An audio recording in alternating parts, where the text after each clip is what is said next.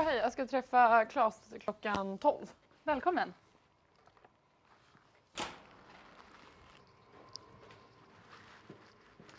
Hej, jag ska träffa Johanna klockan 11. Ja, välkommen.